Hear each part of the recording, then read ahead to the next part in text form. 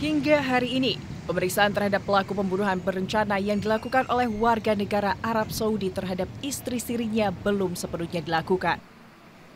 Tim khusus pendampingan pemeriksaan dari pihak Kedubes Arab Saudi belum kunjung datang, meski telah dijadwalkan berkali-kali. Sebelumnya tersangka bernama Abdul Latif Ibrahim, warga negara Arab Saudi, secara keji telah membunuh istri sirinya dengan menyiram air keras ke tubuh korban.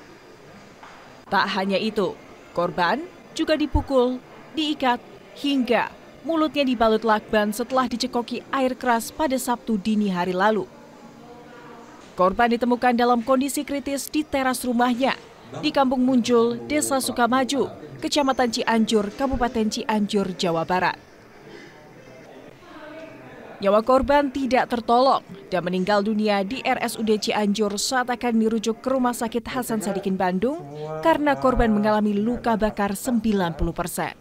Hak setiap uh, warga negara yang berhadapan dengan hukum untuk didampingi dengan penasihat hukum. Karena ini terkait dengan warga negara asing, tentunya pendampingan dari uh, kedutaan negara asal juga menjadi sebuah uh, hal yang harus juga dilaksanakan. Kita juga menghargai hak tersangka dan mengadakan mengedepankan prinsip uh, ajas praduga tak bersalah. Jadi kita harapkan hari ini bisa kita akan uh, ungkap keterangan-keterangan dari tersangka. Ini uh, direncanakan akan ada kedatangan dari pendamping dari kedutaan. Mudah-mudahan hari ini bisa dilakukan pemeriksaan terhadap tersangka. Ya. Motif pembunuhan berencana ini diduga dipicu karena tersangka merasa sakit hati dan cemburu.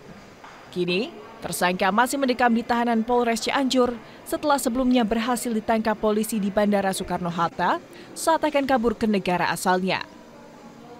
Tersangka dikenai pasal berlapis dan terancam hukuman mati.